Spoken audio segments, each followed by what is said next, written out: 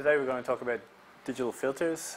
Um, so we did an intro the week before, and today we're going to get into a bit more detail. We're going to talk about um, the difference equation, and then look at the Z transform. Uh, we'll do some simple examples, and then some more detailed analysis of the frequency response of an IIR filter. And then we'll talk about the significance of poles and zeros and what they can tell us about the expected frequency response. So we'll get an intuition um, and we'll actually use that intuition to design a notch filter, so it'll be an ad hoc filter design.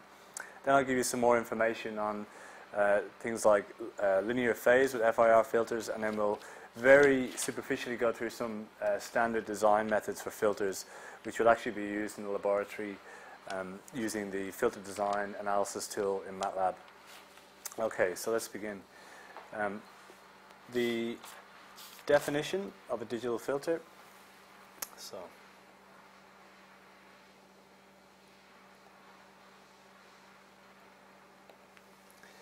you will recall we have an output y of n. So n the sample index, y is the output of the filter, and the difference equation is that we have a weighted sum. So we sum from k equal to 0 up to m.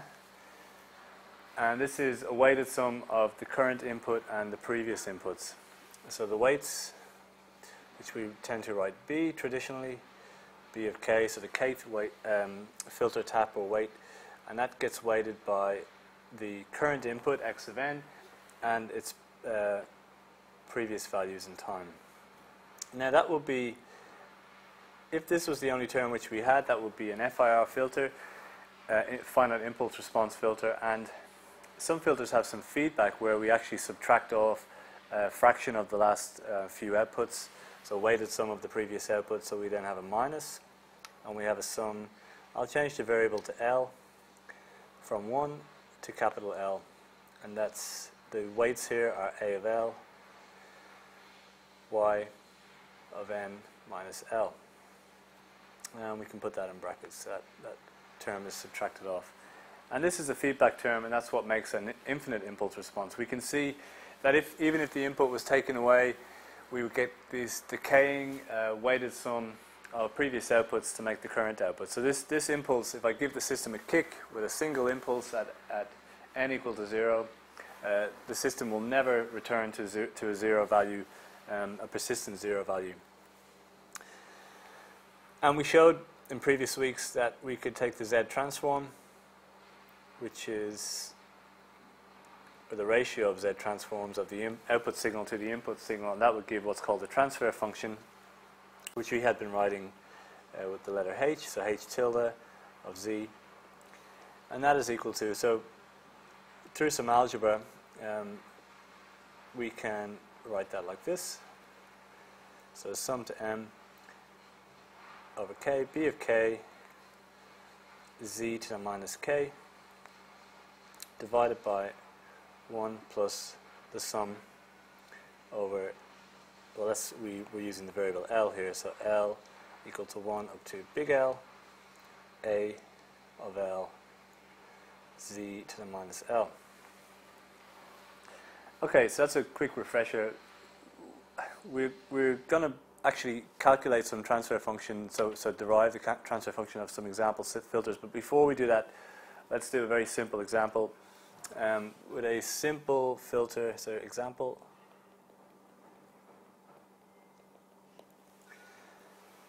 This is completely arbitrary, but it is used as an illustration. So maybe we have that the output is equal to the input um, plus 0.8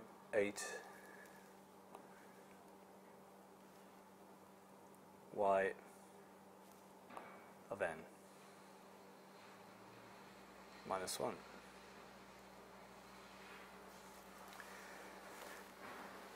And by comparison of this difference equation to the difference equation at the top, we could, um, by inspection, write down the transfer function. So we will have h of z, the transfer function of this filter,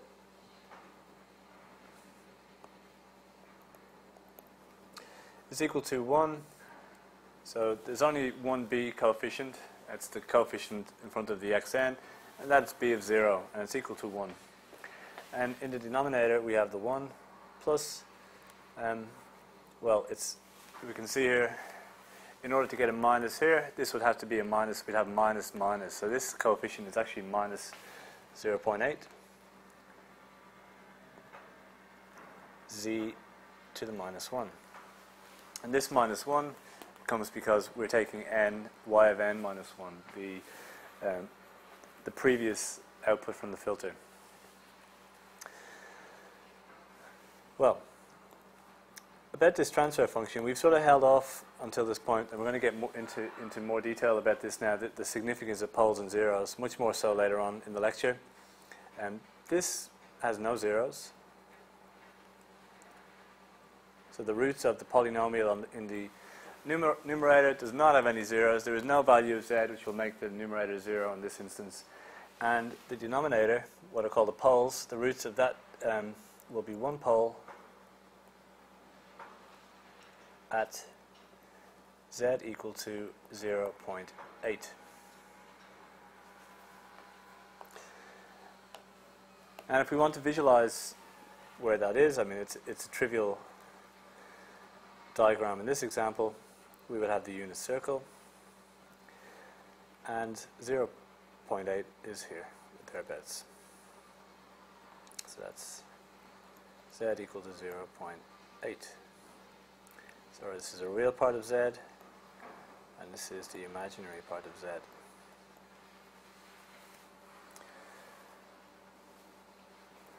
So we'll return to this transfer function and we'll actually evaluate its frequency response, which will be its value on the locus of the unit circle in the complex plane by setting z equal to e to the j omega t. And we'll do that later, which is a more rigorous way to analyze the behavior of the filter. But before that, let's just do some um, sort of uh, heuristic inspection. So one thing we might do if we want to understand the behavior of the filter, maybe we'll look at its impulse response. So it's unit impulse response.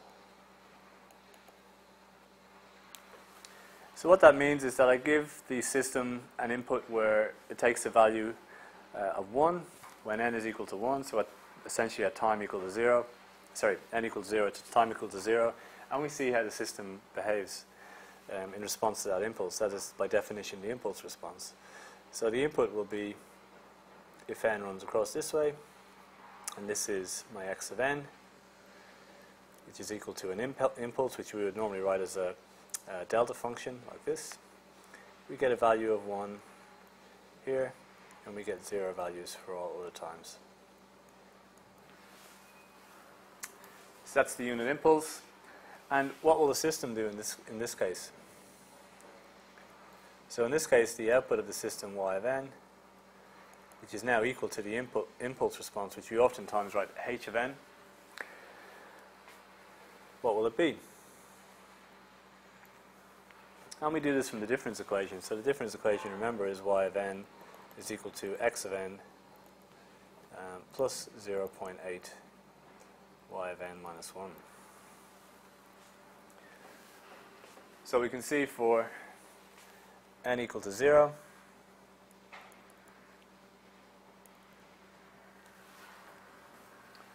at this time here, the output of the filter will take on the current input value plus 0.8 times the previous input value, or output value, which is 0, we assume, for times less than, than 0. So we'll assume that this is the value for all time before when n is equal to 0, when time is equal to 0. So the first value will be 1. Will be one.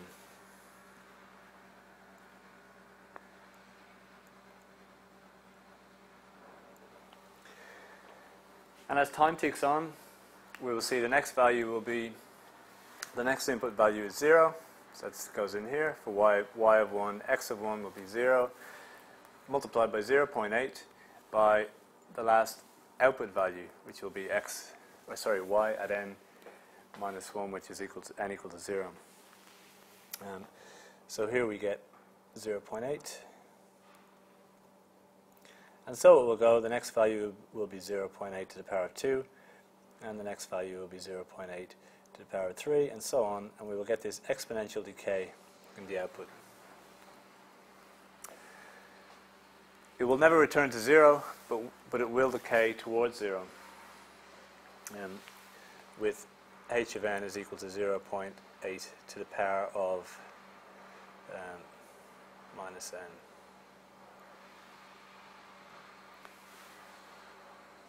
Okay. Next up, let's consider what the output would be if we had a DC input. So we're about to, to, turn an input on and hold it at a fixed value. So one way to do that might be to give a step, uh, see what its response is to a step function, a unit um, step function. So that would be a function which, um, let's write step, step response. So the input will be, um, excuse me, 0 for all time up until n equals to 0, and then it takes on a value of 1. So that is the unit step u of n. So how will the system respond to a step input like this? This is a way of, of essentially giving a DC input. There's going to be a transient at the beginning because we switch it on. It goes from 0 to some DC value, 1 in this case. Uh, and then we will see um, a DC value eventually settle for the output after a transient response.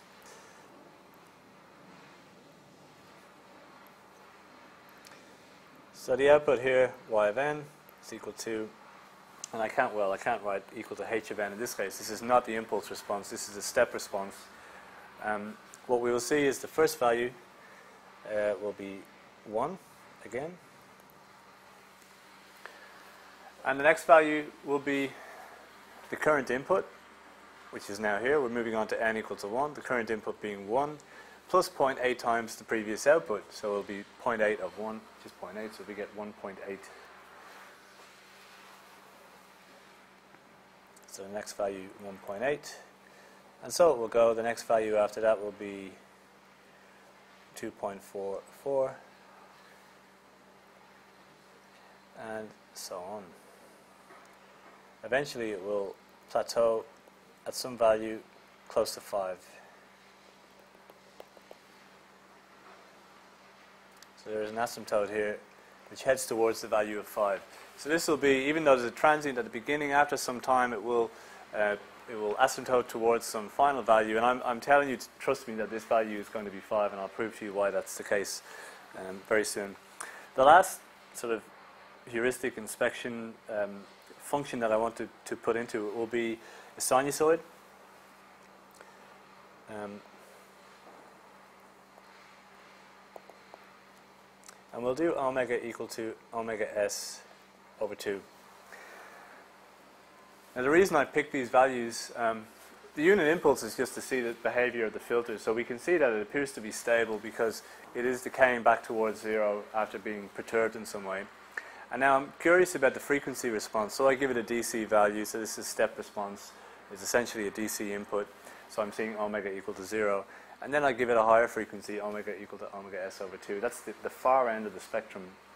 And see how it behaves. And we'll be able to infer, does this look like a low pass, high pass um, function? But, but, but we won't be certain about that. So let's see how this behaves. Um, the input sine wave will be, perhaps we'll stack them on top of each other. Um, this will be x of n. n running this way. And it's at half of the sampling interval, so it will take on values. We'll get two samples per, sorry, half of the sampling frequency. So we'll get two samples per cycle. And let's assume we're so lucky that we can actually hit it at the peak and the trough of every, and the point is there's a, there's a sinusoid underlying here. That's what we're sampling. So maybe we're lucky that we, the phase is just right that we hit on the peak and trough. For illustrative purposes, that's just okay. Um, now, what will the output look like?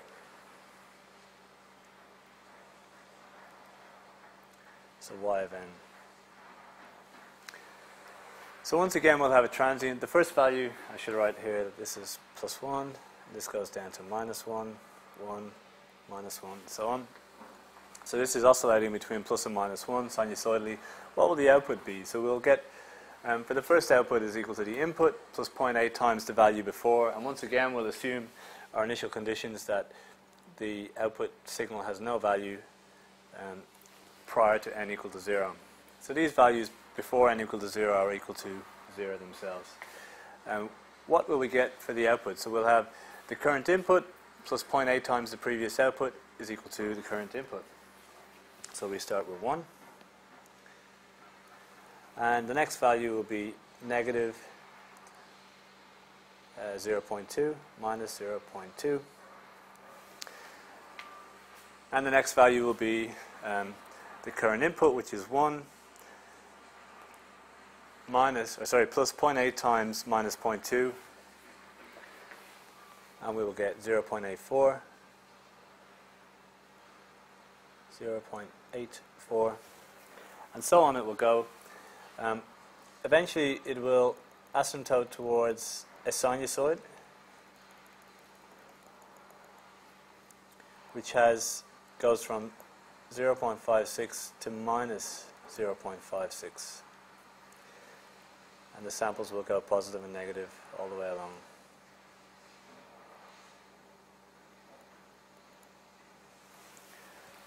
So this will be the range from 0.56 to, to minus 0.56. So we're guessing when we look at the transfer function at omega equal to omega s over 2, this should be the gain of the system. For an input of amplitude 1, we get an output after a, after a transient event. The steady state output will be an amplitude of 0.56.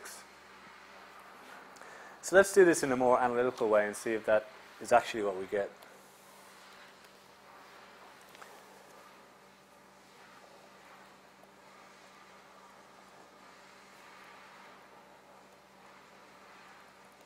So frequency response.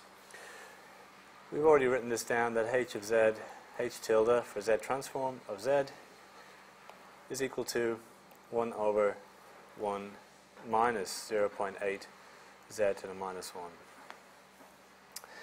And if we want the frequency response, we set z goes to e to the j omega t, and we get h tilde of e to the j omega t, which is the frequency response, um, equals 1 over 1 minus 0.8 e to the minus j omega t.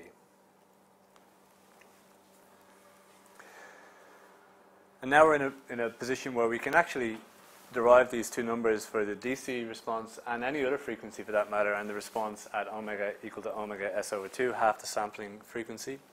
So let's do that just to confirm that we were on the right track uh, previously. So the magnitude response.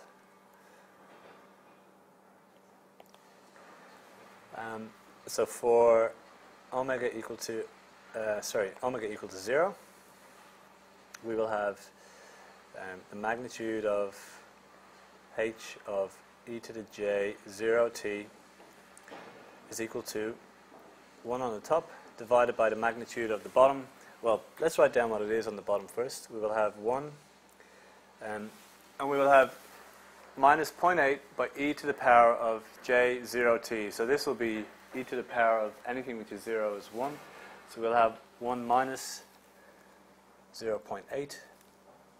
And the magnitude of that, it's a real number, so really it's, it's trivial. We'll end up with 5. So we'll have 1 divided by 0.2, which is 5. And that is what we expected if we, if we flick back. Um,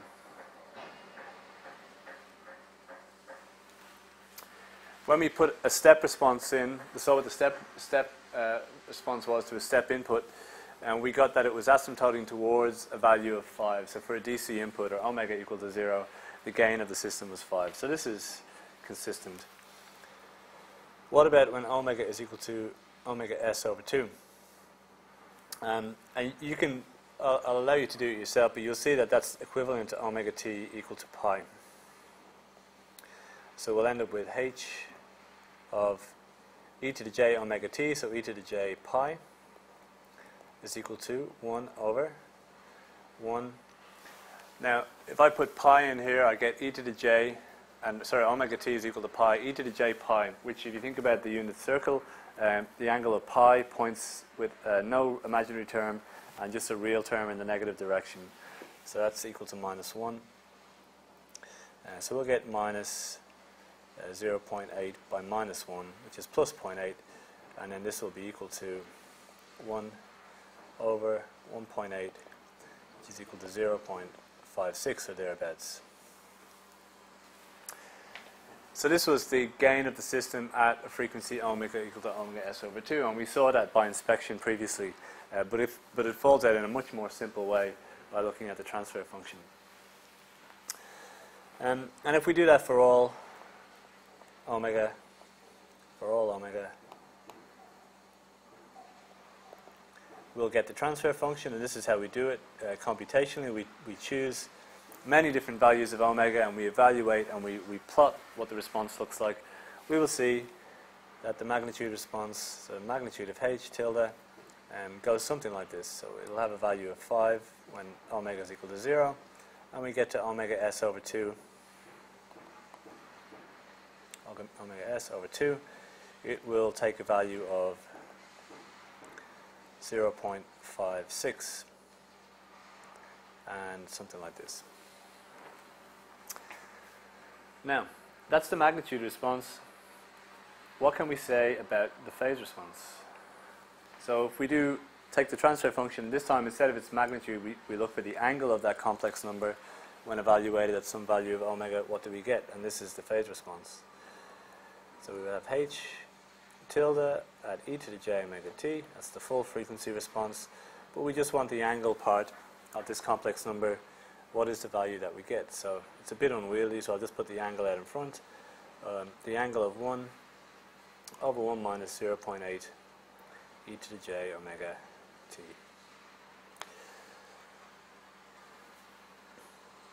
A little bit of manipulation of complex numbers.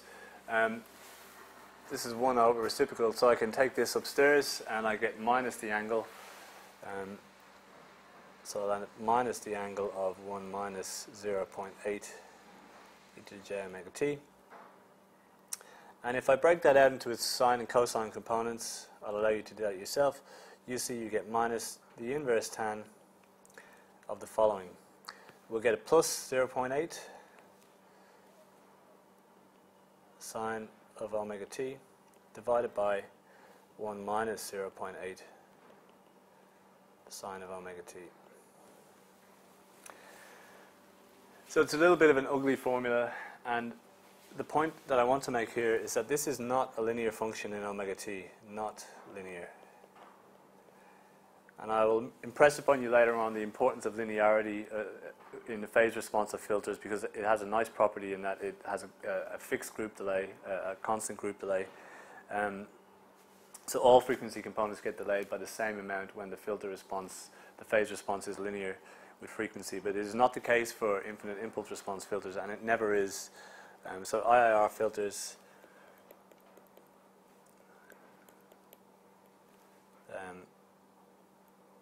have nonlinear phase response. If we were to plot against frequency what this angle of h looks like, um, we'll get some function and it, I think it turns at around 53, minus 53 degrees, um, and it comes down like this and turns around and goes back. So um, this will be omega t, and this is the value omega t equal to pi. So half the sampling interval.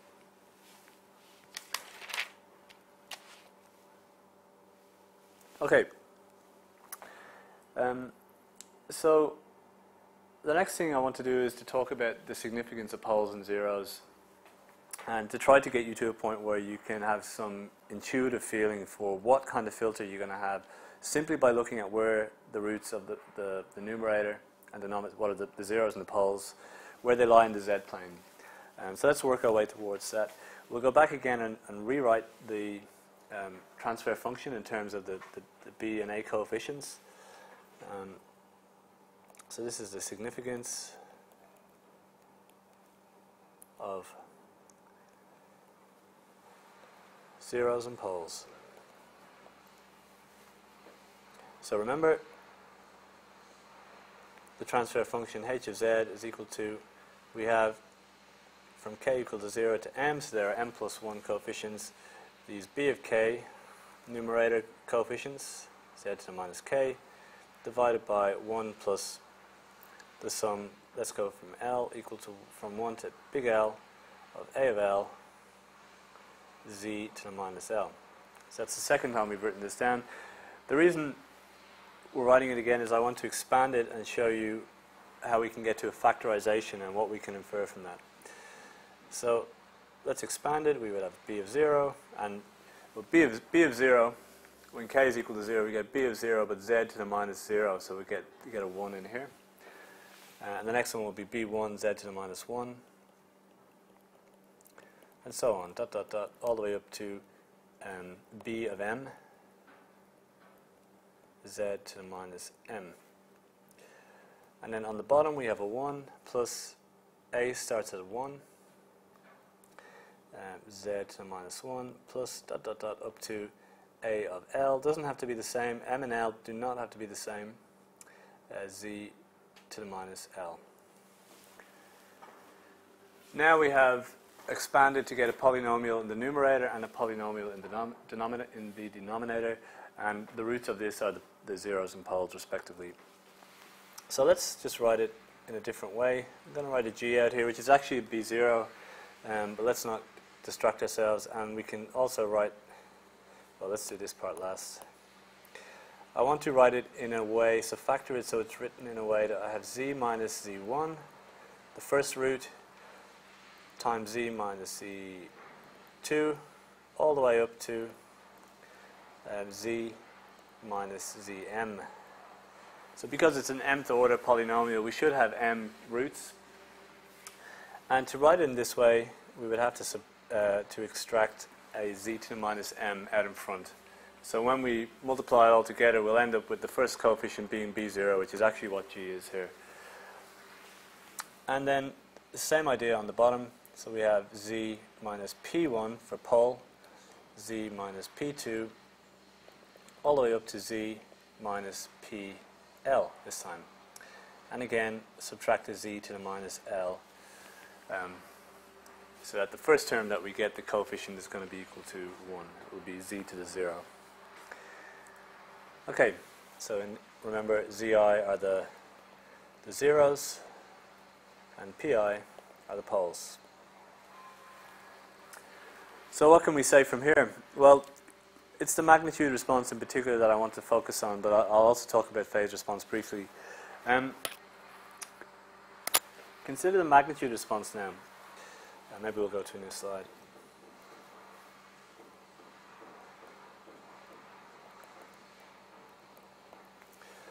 The magnitude here will be magnitude of h of e to the j omega t. We will have equal to the magnitude of g, which should just be a, a constant coefficient, b0, um, the magnitude of e to the j omega or minus j omega mt divided by e to the minus j omega lt. And then we have, maybe we should move this, it's going to be a little bit tight. Let's move that over here. Um, okay. Then we will have the magnitude of z.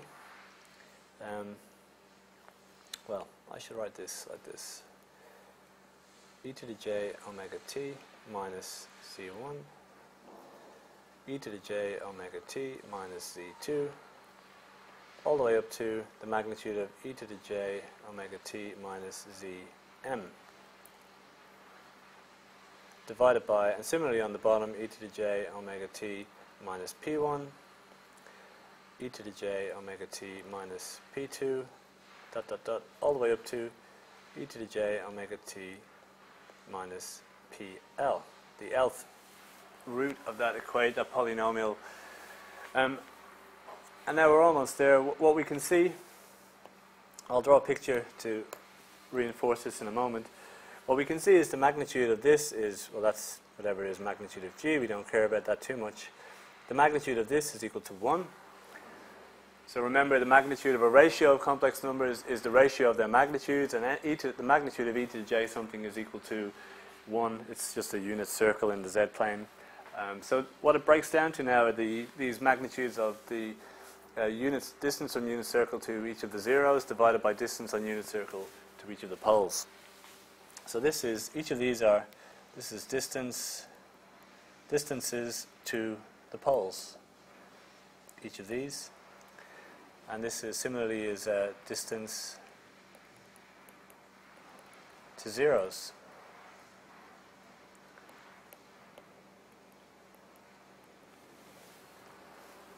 So let's draw a diagram and that will, will start to illustrate what is happening here.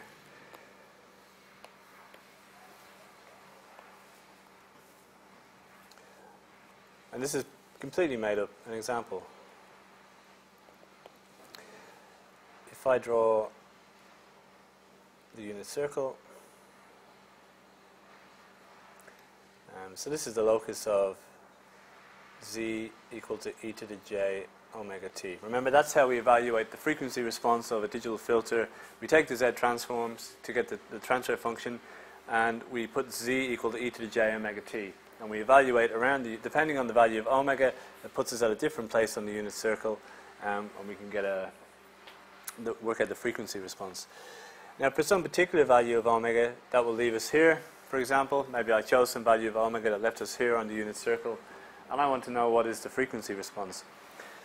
Now perhaps this filter has, we'll switch to blue, maybe this filter has a zero here, which we'll draw like that, a zero as a circle, and perhaps it has some poles, which I will draw to be um, maybe here and here.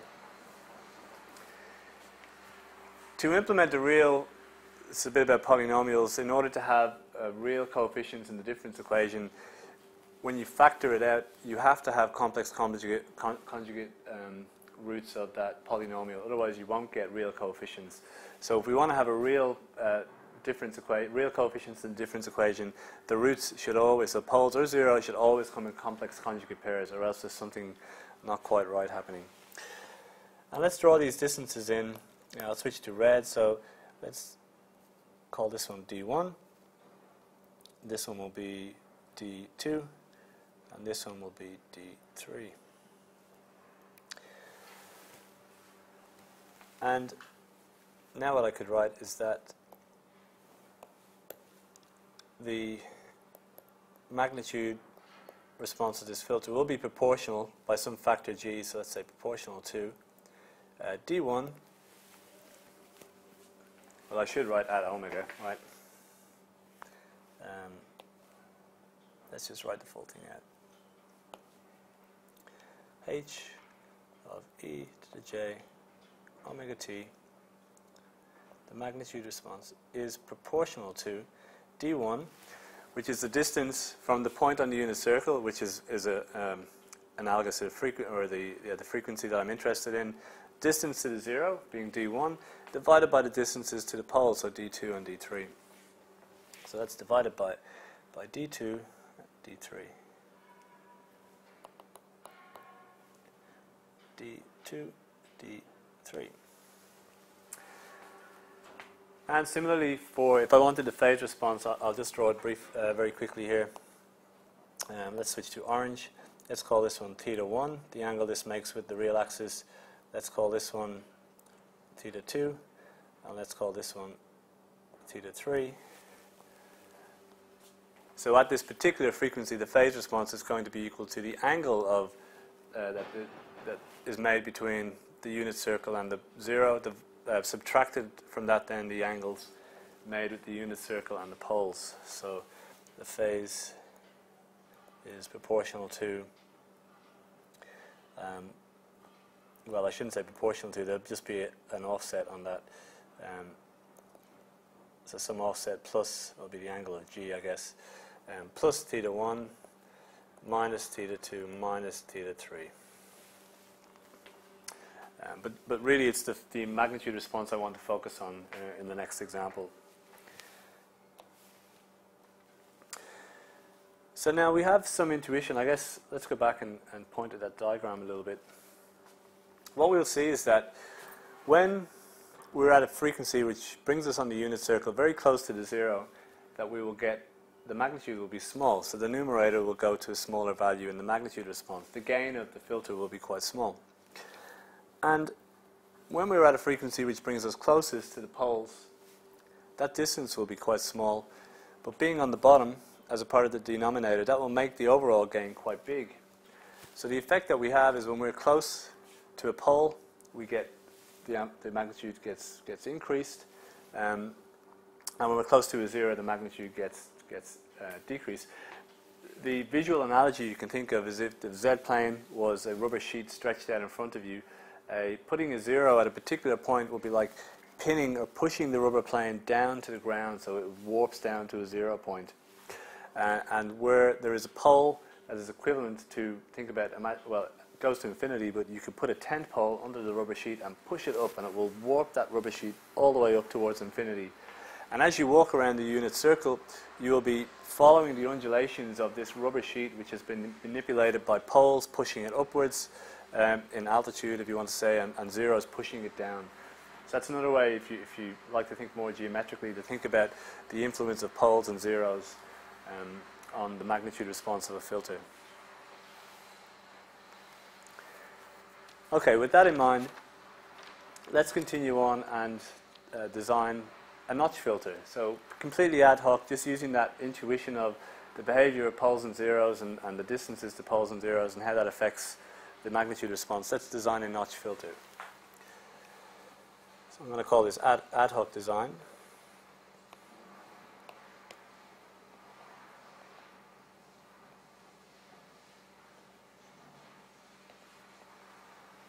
So this is ad hoc. We're, we're flying by the seat of our pants. And we're going to build a notch filter. So a notch filter is a filter which really doesn't affect the signal in any appreciable way, except for at a particular frequency, it totally removes that frequency. And it, it can be very useful for power line interference on biological signals when you record and you get interference from nearby power lines at 50 hertz or 60 hertz in the United States. You can set a notch filter at that frequency and totally kill that, that signal, leaving the rest of the signal, uh, the signal which you're after, um, relatively un unscathed. So so we want um, the magnitude of h approximately equal to 1 and for all, so we say for all w omega except um, omega equal to omega c where we want the magnitude of h equal to 0. Well, how would we do this? I guess I'll just give you the answer, um, and then we'll see why it works. So let's try that again.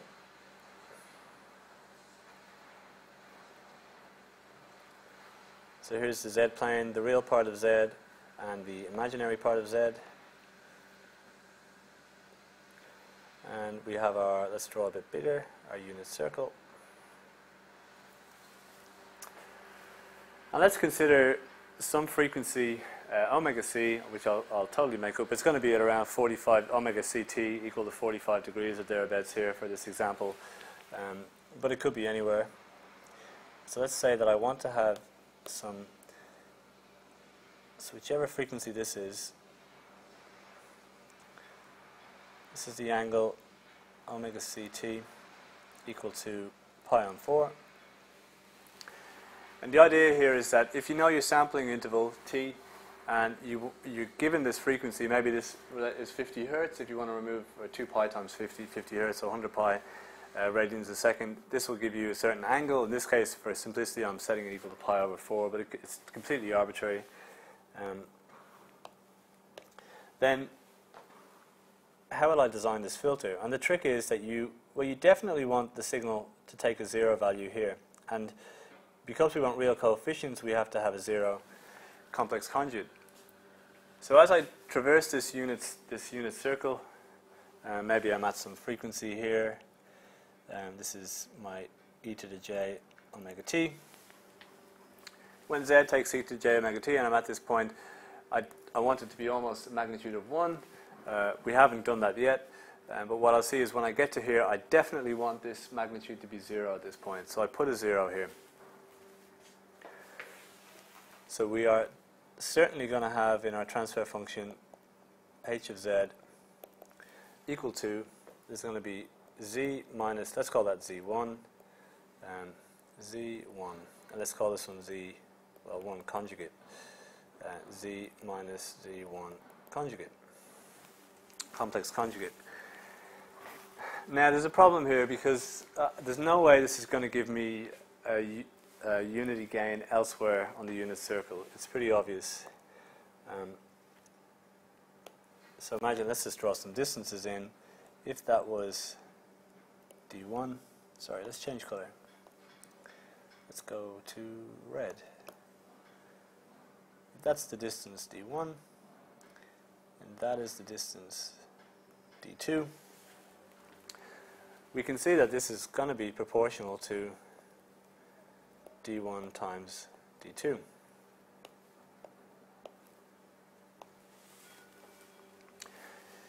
And there's no reason why that would take a value of 1 as we move away from where those zeros are.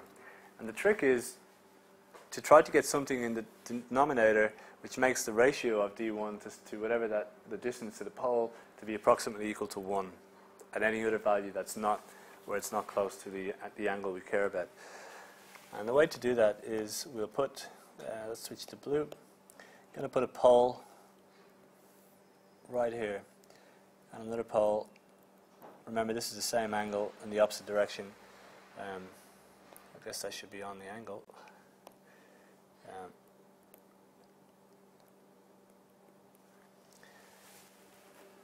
so we'll put poles nearby at the same angle, but just not quite as far out.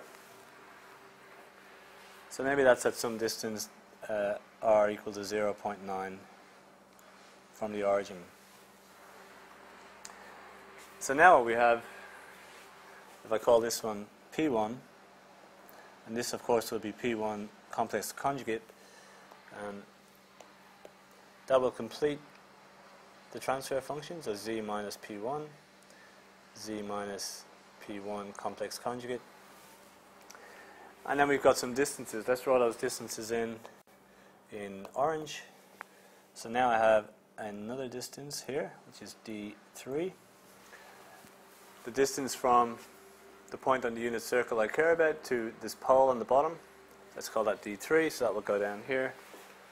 So divided by D3. And then I will have the distance from this pole to, the, again, the point I care about on the unit circle. Let's call that D4. So by D4. And what we can see is when we are far away from the pole zero pair, d1 divided by d3, they're about the same distance. So they both take, the ratio of those two lengths is approximately 1. And the same idea for d2 over d4. So what we get is that these pairs, d1 over d3, d2 over d4, are approximately equal to, so we get approximately 1 times 1. And that's when omega is not equal to omega plus minus omega c.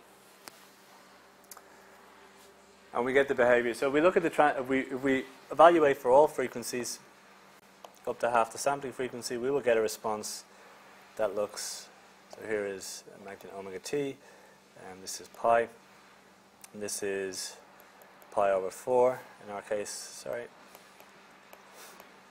Imagine pi over 4. This 1 and there's the magnitude of the transfer function. Uh, it'll be a little bit above 1 actually. Um, you can think about why that is the case, and then it will drop down and then it will go back up to a little bit above 1 again. But it takes a value very close to 1 for every frequency except for where we put that 0 um, to create a notch. So that's quite a cool little trick. Um, okay, some other behaviors about filters that we need to know. Um, properties and behaviors. We, we've already talked in the past about stability, but let's just mention it again. Um, so for finite impulse response filters where there's only B coefficients, stability is not a problem. They're always stable.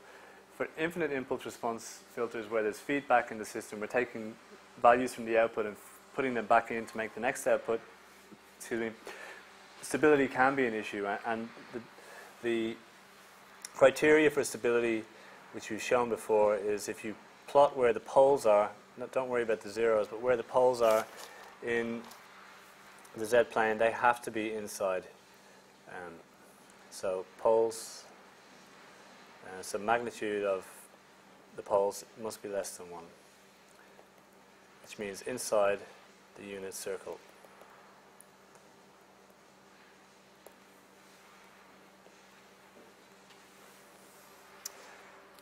Okay, so you can see the notes about that. There's much more information on stability of filters and how to derive um, those criteria.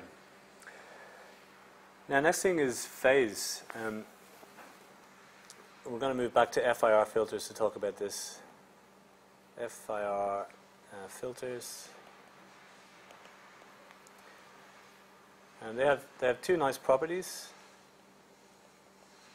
Two nice properties.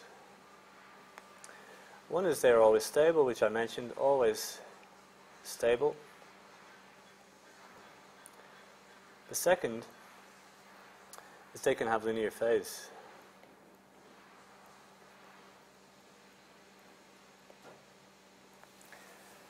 Now, what is the importance of linear phase? Let's just talk about that a little bit because I think some, it, it can be a little bit um, abstract sometimes as to why this is important. Consider this is what the phase response that we want to get looks like.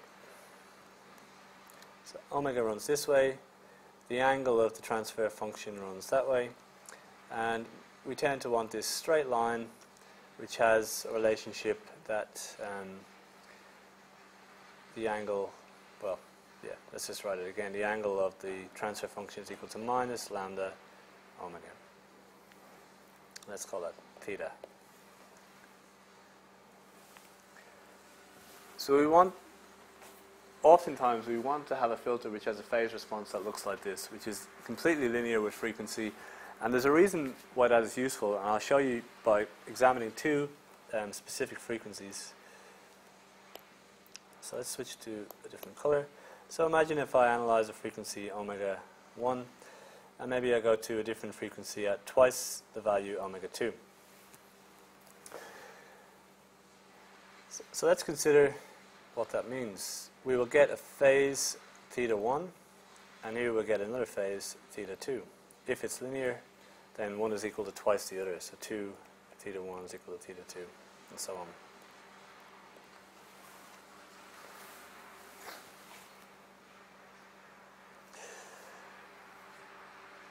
Now, let's think about the, the, the, periods of those signals. So if I have a signal which has a frequency in radians per second of omega 1, its period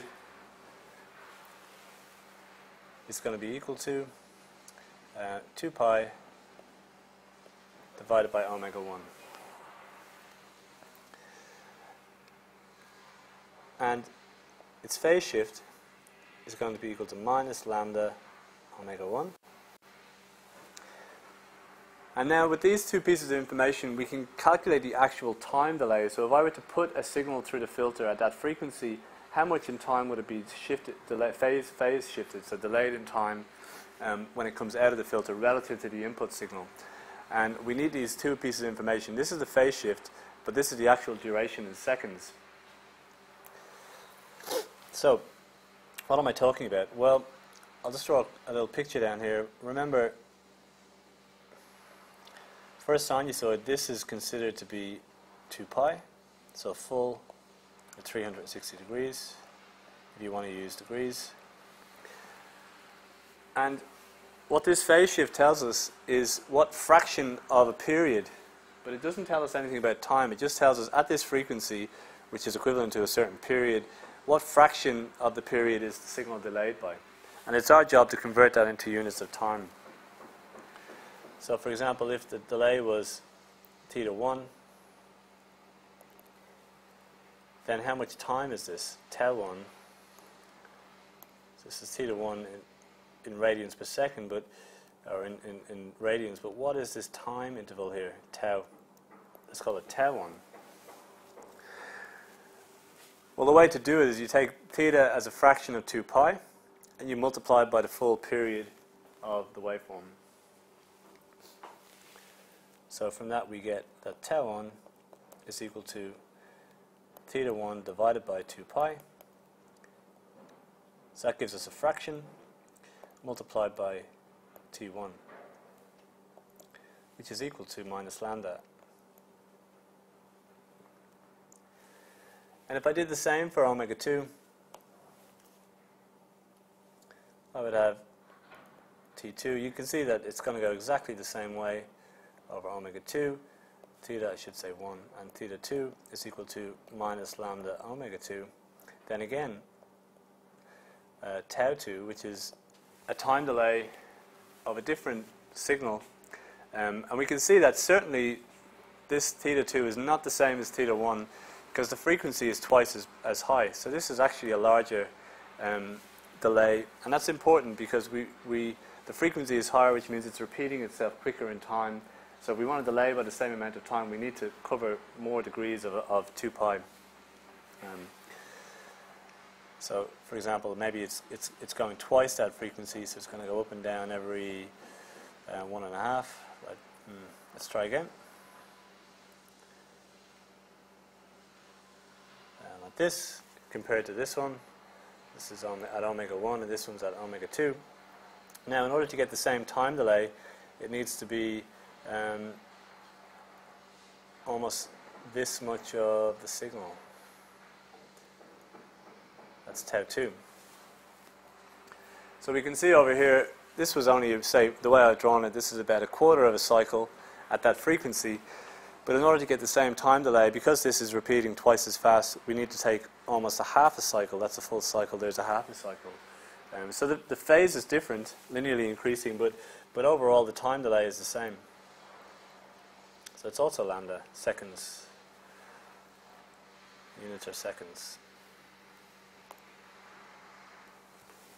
So that's interesting. If we have a linear phase response, then we can get put in a signal and all of its components go through the filter and all get delayed by the same amount. So it can be quite useful in uh, ECG signal processing, for example, where you don't really want to change the morphology of the waveform because that might lead to a misinterpretation by a cardiologist, for example.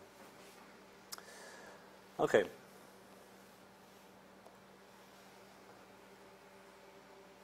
So what we've got from that is FIR, fil FIR filters um, can have linear phase response, but an IIR, IIR filter can never have um, a linear phase response. And something I will say against FIR filters, even though they're, they're stable, they require a lot of taps in order to get the same frequency response behaviors as sharp cutoff uh, for a low pass filter, for example, compared to an IIR filter where you can do a lot more with a lot less computation. Uh, okay. Now, just the last thing about uh, linearity, phase, phase linearity, is conditions for that. And we won't prove it here.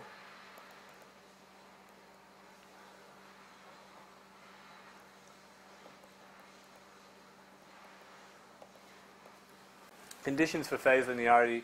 If you want to have a filter, I haven't told you how to do it, if you want to have a filter which has a linear phase response, um, there's a very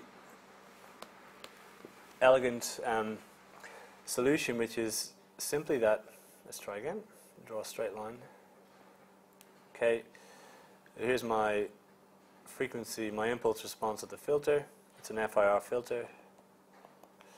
And all I have to do is make sure that the, the coefficients are symmetric around some point which gives it a center of symmetry. So normally you'll center it on zero, but that would make the filter non-causal because you'll have values which are forward in time, for example, but you can shift the filter and there will still be a line where there is a central a center of symmetry. And so what I mean is that you can have uh, coefficients which are symmetric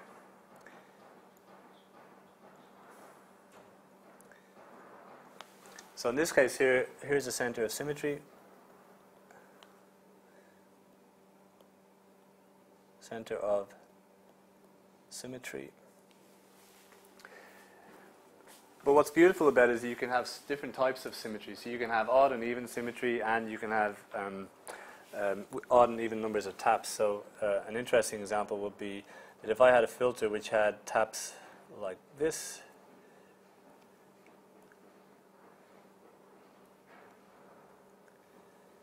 um, so here's an example of, of the taps of a filter.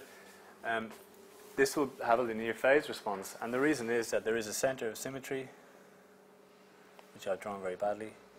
Um, so center of symmetry, and there is a symmetry, but it's but it's odd. So rather than being mirror image, it's actually as if you rotated by 180 degrees. Um, but that will still give a linear phase response. That's great. Okay. So we're going to move on to filter design methods, and, and really, um, this is just to give you an introduction to some of the ideas about how to go how to go about designing filters. We could spend an entire course perhaps talking about this and all the fine details of how to do, do these things, but I just want to give you enough information that perhaps you could go to MATLAB and use the filter design analysis tool um, and understand what some of the, the terms uh, in that tool mean. So, so here we go. Uh, formal design methods.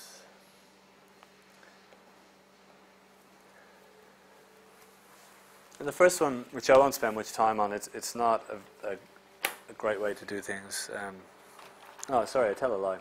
This is for FIR. So the first one, yeah, is pretty, pretty cool. So Windows method. So we have, this is for FIR filters.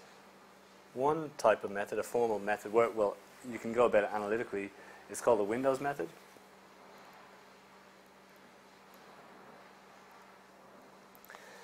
Um, so here's the, the procedure. We're not going to go through all the mathematics, which, which is interesting, um, but it's going to take us a little bit too long to do that.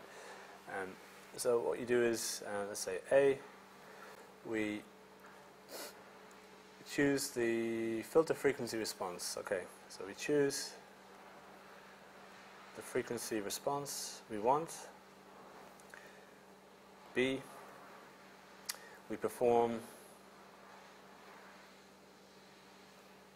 the inverse Fourier transform, let's say inverse discrete Fourier transform um, to get impulse response and see we sample it. Well, I guess then I should say that's the inverse Fourier transform. Inverse Fourier transform, and then we sample. Sample to get um, the FIR coefficients.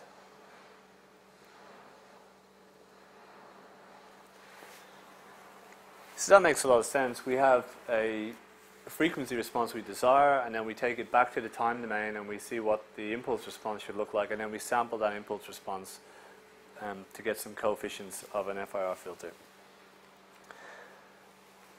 So what will that look like? Let, us just vi visualize what we're talking about. Um,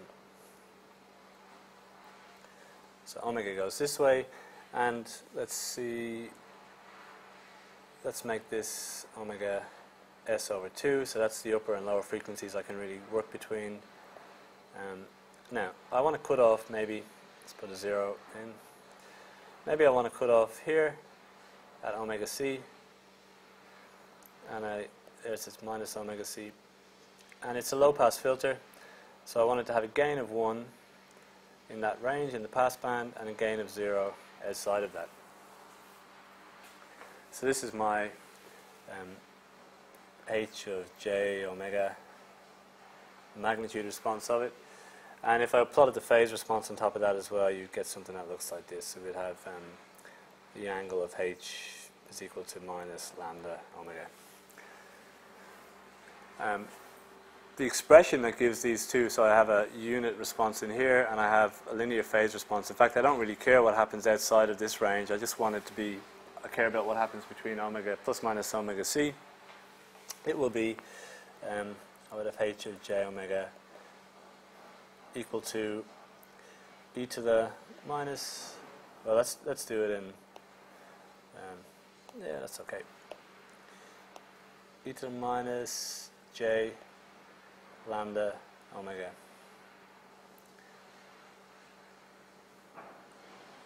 T. sorry, let me just fix something. That should be, if we work in uh, Z transform, that would be e to the j omega t. Okay.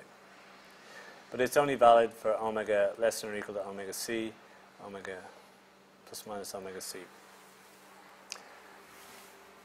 So here's what we would have, and we would take an inverse Fourier transform and get back to the time domain, and then we would sample this, um, and the response, the result that we would get would be in the time domain.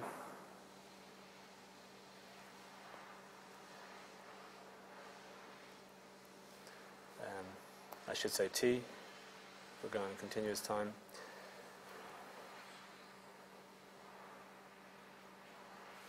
We've done this before, so it's a rectangular function in one domain. It's going to give us a sinc function in the, in the other domain. So we're going to have this sinc function. Um, I'll just sketch it roughly. Um, it might look like this, and then it will go like that, and so on. And our job then is to sample it. So we will take some samples from it and try and keep them. If we want linear phase, we try and keep them symmetric, as we just talked about, um, and so on.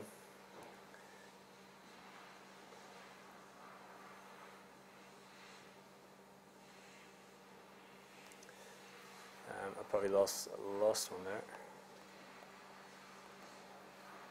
One, two, three, four, five, and so on. So ideally we would take all of the samples from the impulse response and then we would have a good reconstruction. Um, the issue is that we will probably only end up taking a finite number of them. Um, finite, this will be m the number of taps of the, of the filter. Um, we'll take m of them, and then we'll see, as we probably anticipate from some previous lectures, that we'll have um, a spectral smearing effect caused by that finite windowing. Uh, so let's draw some pictures about that behavior.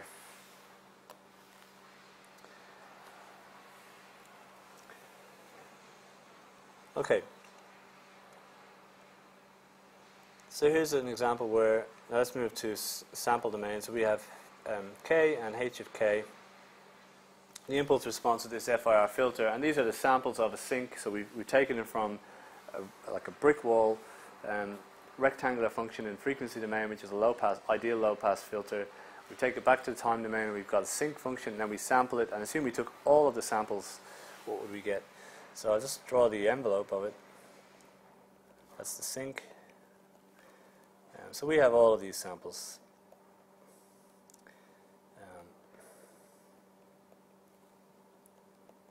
So all samples. And therefore, in the frequency domain, we have a perfect response.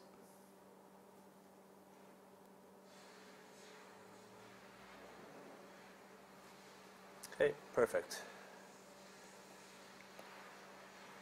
So this is my magnitude of h of e to the j omega t, my filter. And that's omega. So this is what we were trying to do. This is the whole idea. Actually, we went this way. We took from um, ideal and frequency domain back to time domain and sample all the samples, but we know that we can't do that. And we're going to end up taking a finite number of samples. And what is the effect that that will have? So in the, in the past, same with the discrete time Fourier transform to the discrete Fourier transform, we model taking a finite number, number of samples with multiplication by a finite window in time. Uh, so we'll do that again here where we'll have some window. Um, so it takes, this is the function w of k, a window function, and it takes some non-zero values for some samples. Uh, and then it goes zero elsewhere. And we've seen in the past as well that um, so hopefully we've taken, you know, if, we, if we've got enough of these taps, sometimes you might use several hundred um, coefficients if you can um, tolerate it to get the frequency response that you want, um, to get a really good frequency response. So this might be quite wide in time, which means, as always, that we get a very narrow um, scaling in frequency. So hopefully this, what will be a sinc function in frequency, is So this is the transform of W.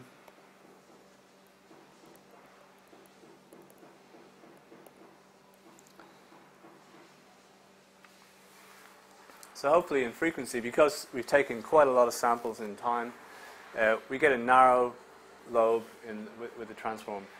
And now we can model the, what we expect to get for our frequency response of the filter by this only taking a finite number of samples, and that's by convolution. So the result this is modeling a finite number, finite samples, where now we multiply the two of those together, and k. So this is h of k multiplied by w of k to extract out a finite number of samples. Um, so let's say we stopped here. So we would have, what did I have above? I had 5 up here, one, two, three, four, five, symmetric ideally. Um, then I had another 2 on the bottom, 1, 2, and 1, 2. Does that make sense? We have 1, 1, 2, 3. Should probably have another one out here another one out here. So that gives me, let's just count them. 1, 2, 3, 4, 5, 6, 7, 8, 9. 1, 2, 3, 4, 5, 6, 7, 8, 9. Good. And 1, 2, 3, 4, 5, 6, 7, 8, 9. Perfect. So everything lines up, top and bottom. Um, and what I can see now is that the result of this is going to be a convolution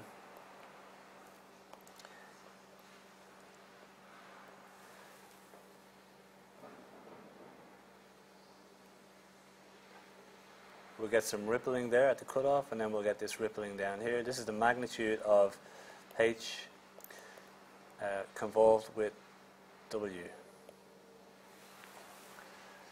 Now, I haven't drawn it very well, but we get this rippling effect, and we've seen that um, previously in previous lectures. So you get this rippling effect, which is called Gibbs phenomenon. Uh, so all this ripple business is Gibbs phenomenon. And the problem is that actually it doesn't really go away. You would expect that in the limit when we get to an infinity of samples, all the samples, and that we get back to the perfect response. And we, we do if we get to infinity, but we don't get there, um, well, we never ever get there. So what happens is as we increase it, we push this rippling effect out towards the transition band, um, but its amplitude gets no smaller. And it's not a very desirable um, property. So in practice, rather than use a, a square window, a rectangular window, we would use a tapered window or a bell-shaped window. So the W of k, which is the windowing function we use to extract a finite number of coefficients, um, we use a more tapered shape. So maybe something that looks, it's, it's bell-shaped perhaps, so it looks a bit like this. That's my nine coefficients to match with the previous example. So maybe that's the shape that I use for WK. And the behavior that this will have is its transform. So the magnitude of W of e to the j omega t against frequency. Um, it will be a little bit wider in the main lobe So the, the sinc function on the previous page has about the narrowest main lobe that you can have. It's for, for, a rectangular function, we get a very narrow main lobe, but the height of these side lobes can be very large. Um, when looked at in decibels, it can be strikingly bad. So it's better to use a tapered window. And then what we have is certainly we paid a price. This main lobe is now much wider, so we're not going to get the sharp frequency um, transition band that we want for the filter. But, but at least we get very small ripple out here. So some example of samples of window, you can check the notes, but we see things like Hamming, Hann, Blackman. There are different types of bell-shaped windows, and they all do different things. They all either have, they trade off the width of the main lobe for the amount of spectral leakage on the side. So now if we go, let's call this one W2. So we had W2.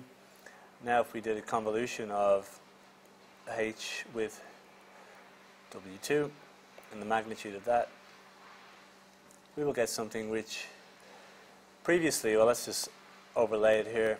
Previously we had this ripple here, and then some ripple here, and then ripple down here. So really a sharp transition um, at the cutoff frequency, so this being around omega c here, minus omega c.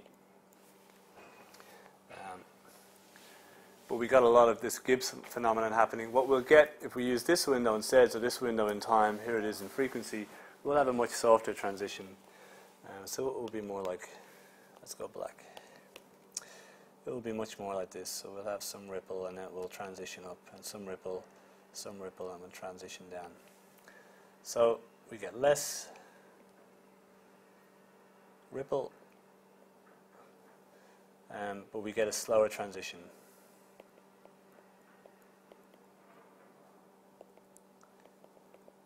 from the stop band to the, the pass band. Okay. Now that's one method to design FIR filters, but there are iterative methods, that a computer um, based methods which are, are, much more accurate and can give you arbitrary responses. Um, if you've got a particular response that you want, you can go down that road. Um, now let's talk about IIR filters. So we don't we haven't too much to go, and then we'll, we'll stop. Um, all right, IIR filter design.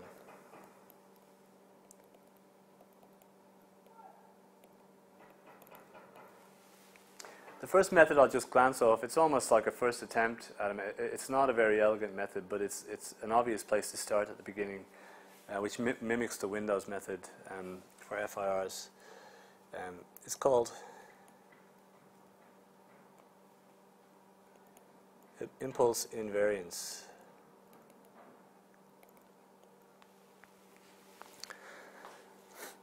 So it's a similar concept to the Windows method, except we're going to do it for an infinite impulse response rather than a, a finite impulse response. Even though, ironically, the impulse response from inverse Fourier transform of a rectangular function in frequency is infinite in its, its domain. So, all right, let's get into it. So what are we going to do? We're going to sample the impulse response um, of an analog system. So continuous time system, uh, we're going to figure out what uh, kind of transfer function we want, and then we'll generate its impulse response, and then we'll sample it and see, and hopefully we'll get a digital filter which gives us the same behavior as that analog filter would have given us. Um, now, the problem is it only works, I'm not going to go into too much detail, this is just to draw your attention to this method. Um, the problem here is it only works only for low pass designs. And even then it will not work very well unless you have a high sampling frequency, uh, which is almost intuitive. If you want to reproduce the, the impulse response very well, you have to sample at quite a high rate. Um, the issue, the main issue with it, um, is imagine there was a prototype analog filter, so some resistors and capacitors, and it happens to have a transfer function which you like the look of. Let's give it subscript A for analog. And we're in continuous time, so we get a transform in j omega. Omega goes this way. So maybe it's a low pass response and it drifts off like this and never quite gets to zero um, as it try and make it symmetric as it tends towards infinity. Now we know about the sampling theorem. If this is the, in the representation of the, the impulse response in the frequency domain, um, and we sample it, then we can expect that we're going to get replication of this. In the same way, when we sample a signal, we take its spectrum and we replicate it at multiples of the sampling frequency from the sampling theorem. Uh, so if you're going to just sample the impulse response of this system, Sorry, let's try that again.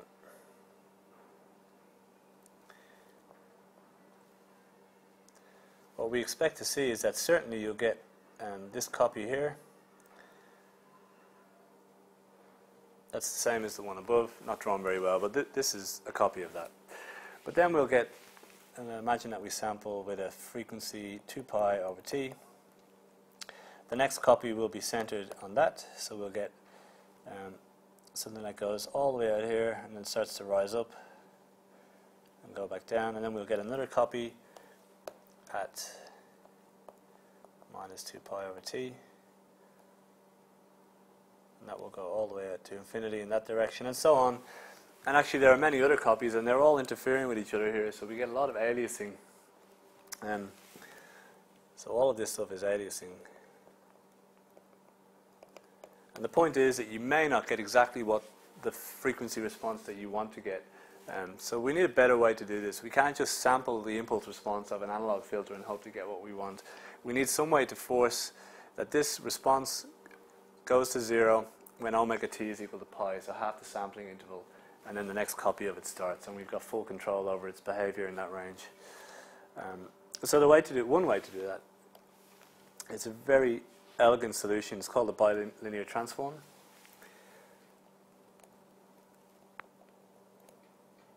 Sorry, let's go to change color to black. Bilinear transform.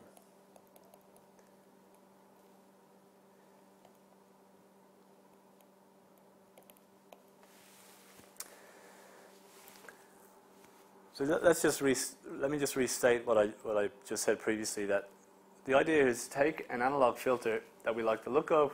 Um, there's some very uh, clever design techniques, and I'll talk about those in the next few minutes for analog filters to give them special properties. Like a Butterworth is maximally flat, and elliptic filter has a very sharp um, transition band, and so on. So it would be nice to use what we've learned from analog filter design and bring that into the digital world. Um, but the challenge that we face is we have to take a filter which has, uh, which extends over all frequency and map it into a very short range, which is from zero to half of our sampling frequency. So how do we do it? That's the challenge. Um, so the motivation, again, is still to stay with, so we'll pick um, an analog, what's called a prototype.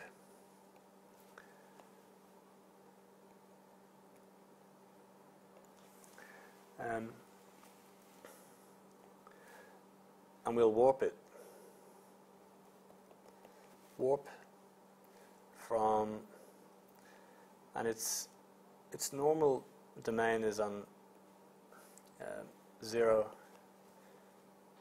to infinity. And we're going to go um, from omega. Well, let's call these what they are. So this is omega A in analog, um, just to distinguish them. We want to get that from omega dt to be an element of 0 up to half the sampling frequency, which would mean pi. So this is quite an interesting warping. I want to take the entire positive real numbers, all the positive real numbers and 0, and warp it into um, 0 to pi. How will I do it? Well, the trick is you take S for an analog filter and you replace it with 1 minus z to the minus 1 over 1 plus z to the minus 1.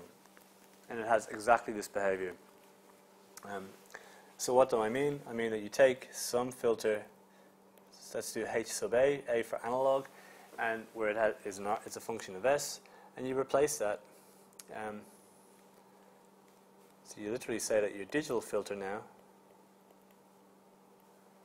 is equal to that evaluated at s equal to 1 minus z to the minus 1 over 1 plus z to the minus 1.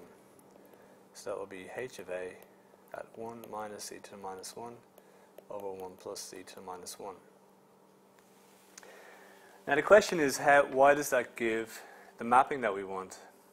What we want to see is when, if I put j omega in here, um, but now replace it with this, which is evaluated e to the j omega t, will I get the right um, relationship between the frequencies? And what I'll see is that it will be, normally you would put in s equal to j omega a in here, and now you would put z equal to e to the j omega d for digital t in here. So what we expect to see is in order to get the same behavior, I should see that this value um, j omega a should be equal to um, this value evaluated at z equal to e to the j omega dt. And it turns out that those two things come together to give me um, omega a equal to tan of omega d t over 2. So this is nice because when omega d t goes to pi, I get pi over 2, and tan of pi over 2 is infinity, and that's the mapping that I wanted. Um, so it's a clever little trick. Now, what does it look like? So it all hinges on this relationship, this tan inverse tan relationship between the, the frequencies um, to map from the full range 0 to infinity into 0 to pi. Um, so let's draw a little bit of an intricate diagram to show that behavior. So we would have this is going to show the mapping, omega, the relationship between omega A and omega dt. So digital frequency. The reason I'm writing them differently is because it's it's, all, it's still frequency, but they don't they're not the same as each other. So if I write omega and omega, you're going to get confused. This is a different variable to that variable because we're mapping from one variable to another. Um, and this is 2 inverse tan of omega a. So this is meant to go from pi, and this is goes all the way to infinity. So what I should see is that as omega a heads towards infinity, that it asymptotes towards towards pi, and that's we get something like this. Now, so that's the mapping, the warping. Um, let's draw below our analog filter prototype and its behavior. So maybe I picked um, a Chebyshev filter which has some ripple, uh, uh, whichever type, I think it's a, a, type 1, which has some ripple in the pass band and no ripple in the stop band. So it will look something like this. Maybe it has a cutoff frequency here, which is omega C, but I'll do subscript A for analog because we're in the analog domain of the prototype. And it's got some ripple that goes between here and here. And let's call this, so this will be at 0 decibels is how we normally write it, and minus q decibels, whatever that might be, maybe 1 or 2 or 3 decibels down.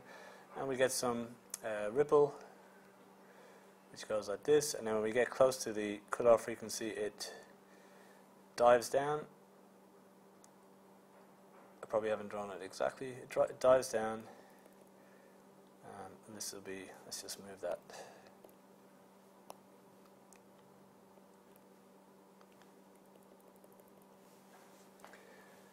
And the, yeah, okay, that's enough. Now, if I do the warping, I would see, because really what I'm going to specify is the frequency of the digital filter, the cutoff for the digital filter. So I'll have to do what's called a pre-warping, where I'll take this back to the analog domain, then I'll design the filter, and then I'll put in the substitution. And that's the process that we'll go through. Um, so we'll, we'll talk about that shortly. Now here's the digital filter. It's flipped on its side, so you'll have to imagine what it looks like. Um, So again, this is uh, omega dt. And again, we had some 0 decibels. And we had minus q. And if we do the warping now, where we bring up the frequency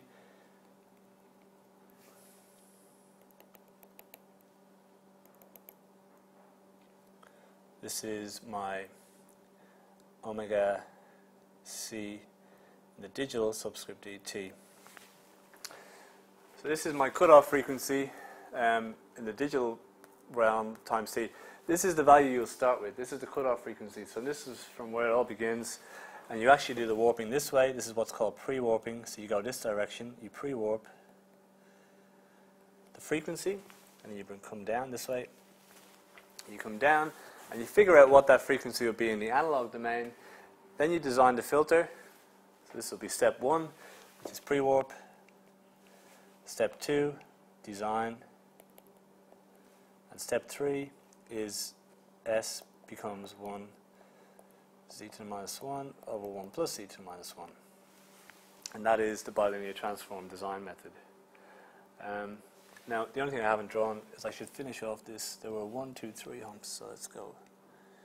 One, two, three, like that. And now let's try again because a very important mistake. It is going to hit zero at this point. Um, sorry, at this point here.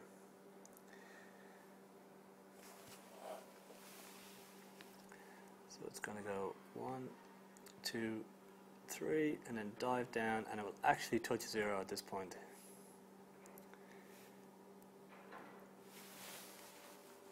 So this is the most interesting thing about it. Even though the analog filter continues forever, this, after it's warping, actually takes the value at infinity and pins it down on um, the omega dt axis at, at pi.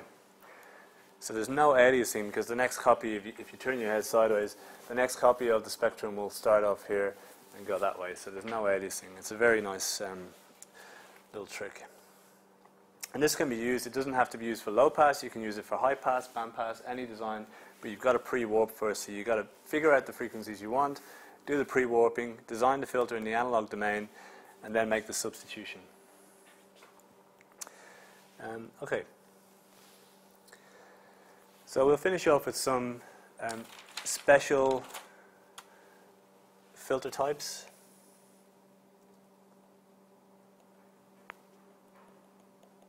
Special filters. We have, these are quite famous, we have Butterworth, which is what's said to be maximally flat. So H, and this is analog, in the analog domain. Um,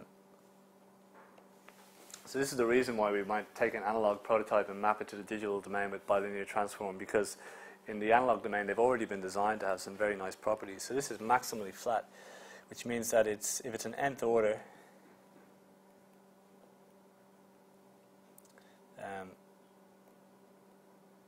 which relates to the degree of the polynomial in the Laplace transform of the um, for the for the system, then it will be flat at this point um, for the first n derivatives with respect to frequency. So maximally flat.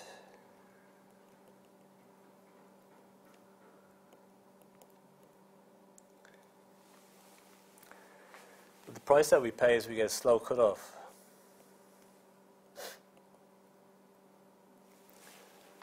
So it's very, very flat. You can have almost flat gain across the whole thing, and that might be important if you don't want to be slightly amplifying one frequency component above any other. Um, but the price that you're going to pay for having such a flat response is that it's very hard to go from going completely flat for the first n derivatives here and then getting down to after the cutoff frequency omega c, um, which is defined as the point where it gets to minus 3 decibels below that value, if that's 0 decibels. Um, it's very hard to get down. So this transition zone uh, is very uh, is very it's extended, and the cutoff uh, rate is quite slow here. Um, quite the opposite is an elliptic filter.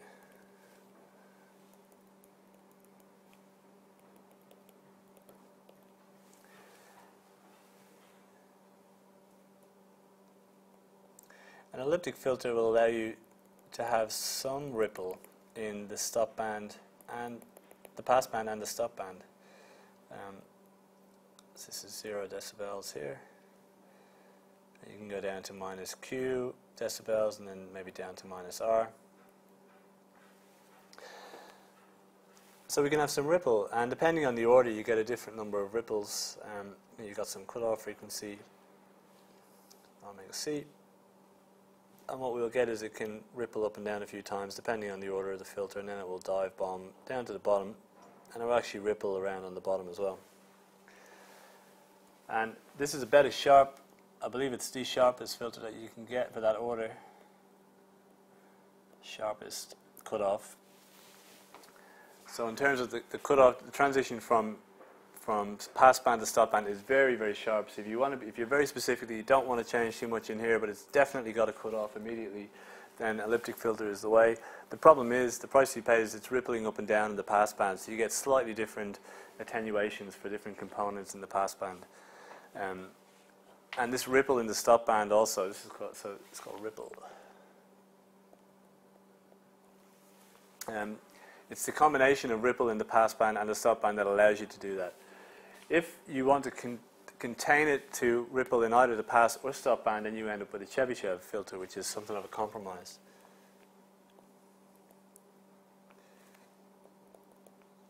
Chebyshev, spelt, I've seen it spelt many different ways. Um, there are two types, of course, depending on whether I allow the ripple to be in the pass or stop, um, stop band.